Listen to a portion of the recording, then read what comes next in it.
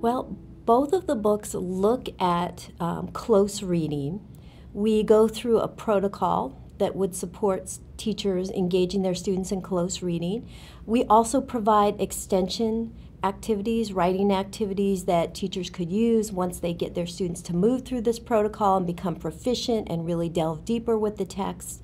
And then we also look at assessment as well. So we, we've got um, some tips, some ideas, some guide sheets that teachers can use when they assess their students for comprehension, for understanding, and even when they're looking at those um, extension type activities.